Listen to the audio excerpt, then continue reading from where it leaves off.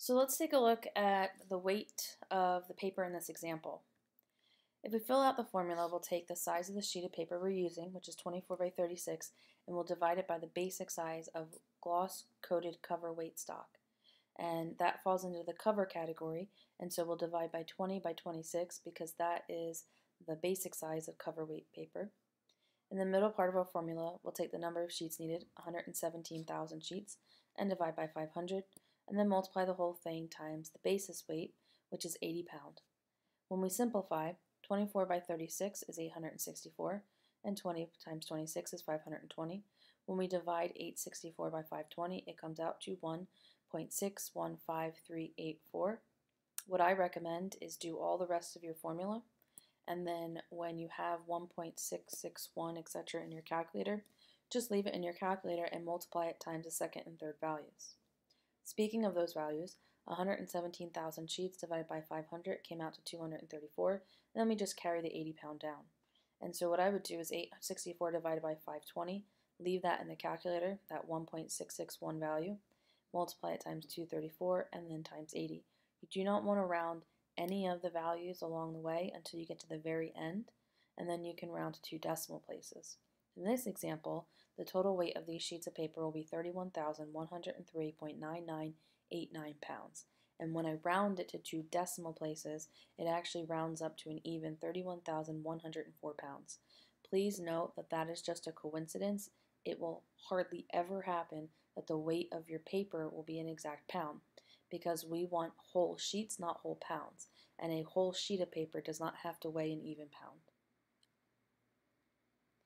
The third step in calculating the price of the paper, or really the first step in calculating the price of paper after you do all the previous steps that we learned in the previous lectures, is to identify the formulas used for either CWT or M sheet pricing.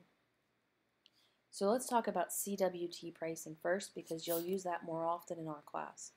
CWT pricing is the price of paper or is the pricing of paper per 100 pounds. C stands for 100 like a C note and WT stands for weight. The formula for calculating paper based on hundredweight pricing is the pounds of the paper, so in this example that we just did, the 31,104 pounds, divided by 100 multiplied times whatever the CWT value is. You can't calculate what the CWT value is, it has to be given to you. Maybe it's a dollar a hundred pounds, or a million dollars per 100 pounds. Whatever that value is, you can't calculate it. It's just something that you have to be given or you have to find on a pricing list. So let's take a look at this example here.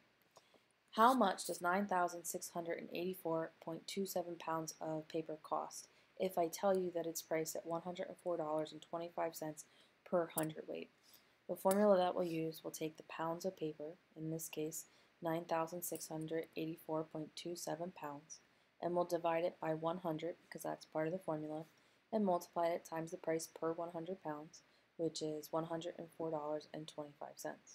When you divide 9,684 by 27, you're essentially moving the decimal places two spaces to the left, so it comes out to 96.8427. Multiply that times 104.25, and the cost of this paper will cost, whoops, didn't mean to hit, hit that, uh, will end up being $10,095.85. See if you can do this next example on your own. Gavin is purchasing 100,000 pounds of 80 pound Husky offset text. The stock is priced at $65.19 per hundredweight. How much will Gavin pay? Remember, multiply the price of the paper times the pounds divided by 100.